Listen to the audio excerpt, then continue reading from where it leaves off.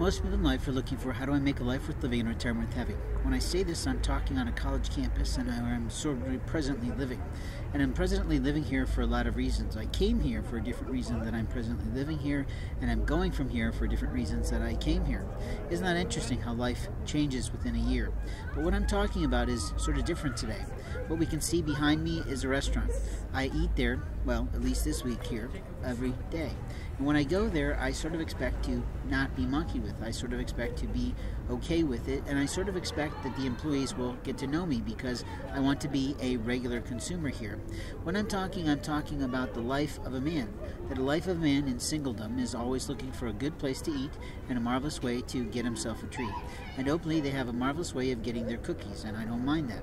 But when I go there and I get the same meal every single day, what I'm always marveled at is that a young person there will make decisions for me. I'll go in and I'll provide my desires. I tell them what I want on my sandwich, and I expect those that are hired to do just that.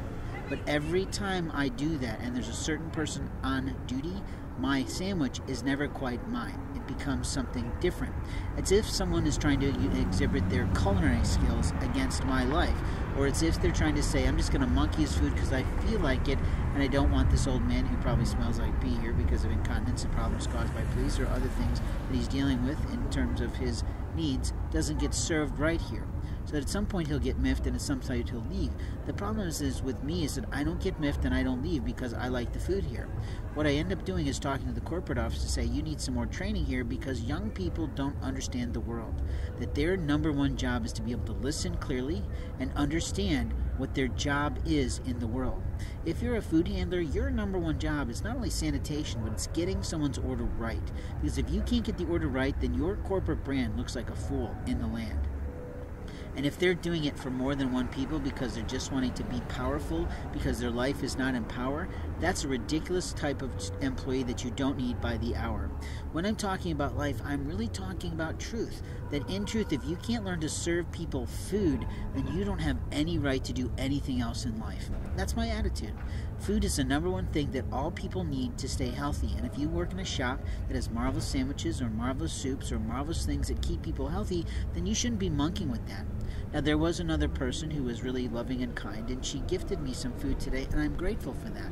I had my money, I was prepared to pay, but sometimes young girls like to, well, give an old man a little love, and I appreciate that.